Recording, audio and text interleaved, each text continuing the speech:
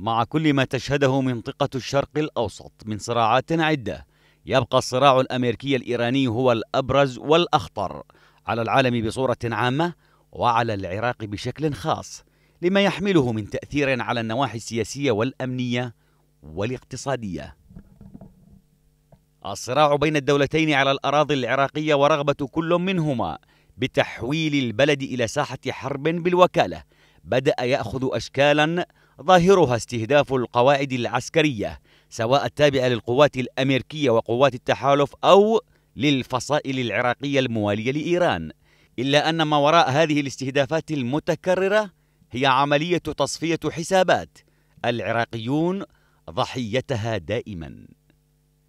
واليوم أخذ التهديد منحا آخر عبر توجيه النظام الإيراني رسائل مباشرة إلى الولايات المتحدة بضرورة سحب قواتها من المنطقة بدءا بالعراق مؤكدا عبر قادة حرسه الثوري أن طهران ترصد جميع تحركات الوحدات الأمريكية في بحر عمان والخليج العربي.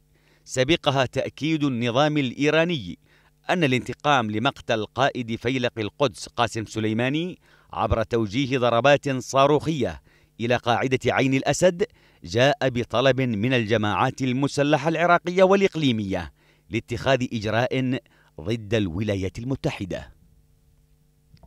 وليس بعيدا عن التوسع الإيراني ورغبة نظامه بالسيطرة على أضخم منطقة تمر عبرها ثلثي صادرات نفط العالم.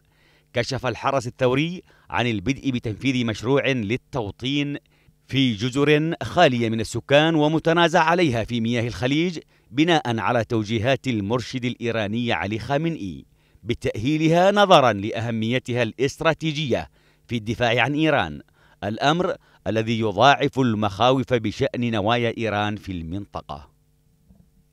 أوراق تختلط وملفات تتشابك وسيناريوهات تتعقد مع استمرار الصراع الأمريكي الإيراني في المنطقة. وانعكاسات سلبية ضخمة تلقي بظلالها على بلد أنهكته الحروب وتوالت عليه الويلات والهجمات الإرهابية.